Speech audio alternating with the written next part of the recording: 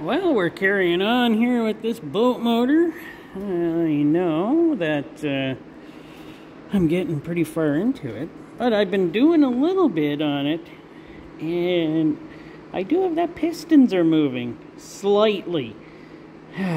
Needs a. This one's been whacked on before quite a bit. I see. I've been using a using wood and a hammer to move it. But I see it's had trouble before and somebody's whacked on it. So, well, that's okay. I'll keep uh, working on her here. And actually, what I'm going to do is take off the fuel delivery. And this should just come off. Yeah, they just slide on. So, let me put that in there. This should just come up. Here, let me get that. Oh, yep, she did. And there's the bearings in uh, this. Uh, whoops, there I dropped it. Uh-oh, that's it. Okay. Yeah, just as long as I don't destroy that, that's fine. Let's take her a look down here. She's a little rusty in there, isn't she? But now, it looks like I have room where I can maybe spin this thing with a wrench or something. But first I'm going to take off this, which I already loosened, just to get it out of the way. Alright, let's do that.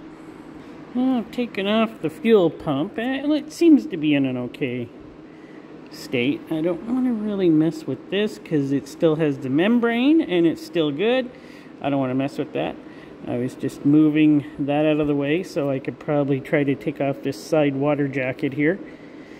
Let's see if I can get further into the motor. I don't know if I have a... I don't know what size that is. I need a wrench. I'll have to take a look at that. Well, there, I got that side water jacket off, and it is clogged right up. I am so glad I got that off. So, yeah, she's, uh plugged up pretty good. It's going to take a lot of cleaning, but hey, I got time. I got time as it is. Ah, looking inside. I now. I want to see if I can get that shaft moving. Well, I've tried a lot of stuff to get that crank to spin. And it's kind of jammed up right now. I'm going to have to maybe take this front case off and get in there and well and probably push it from the other side. Hitting that bottom one there moved there this way but hitting back on this one uh, not happening. So hmm.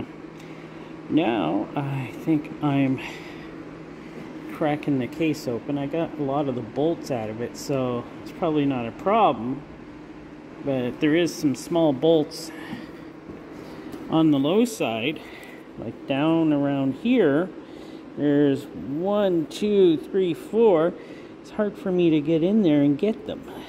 Well, yeah, I guess I'll have to continue trying. I'm going this far. I might as well go full.